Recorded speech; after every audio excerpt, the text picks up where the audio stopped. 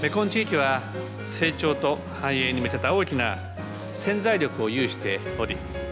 この地域の国々が力を合わせれば豊かな未来を描くことができます。この豊かな未来を共に実現していくための新たな指針として東京戦略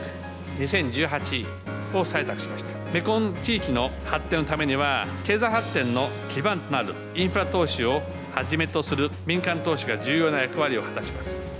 メコン地域の各国に対してはこれまで以上に日本企業の声に耳を傾け投資環境をしっかりと整備するよう要請しました。東京戦略2018を今後の道しるべとし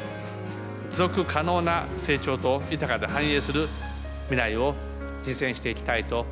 思います。